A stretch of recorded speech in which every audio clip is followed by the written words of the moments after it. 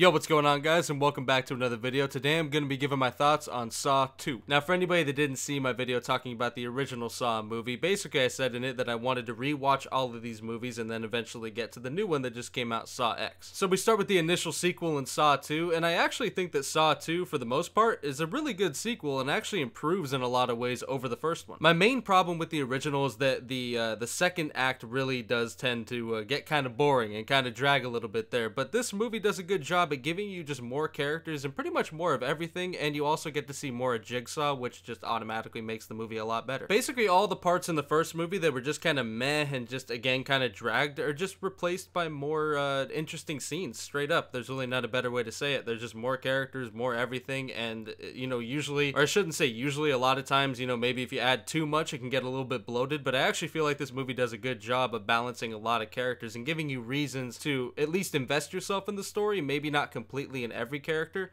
but they all serve their purpose pretty well. Now, where I would say this movie falls short to me, especially compared to the first one, is the finish. I don't think that it ties that bow very well. I mean, I think it does actually to a certain extent, but it's it's just decent, you know, especially compared to the first one where I think the ending is just like perfect.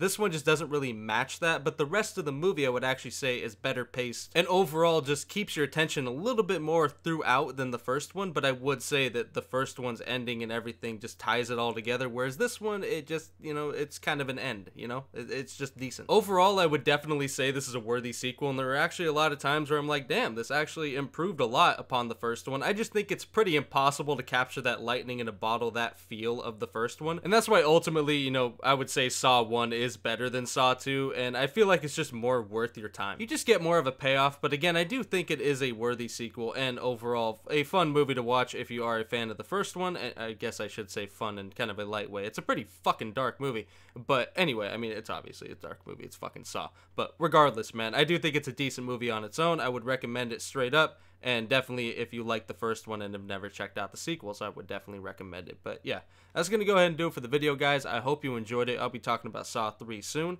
and I'll catch you later. Peace.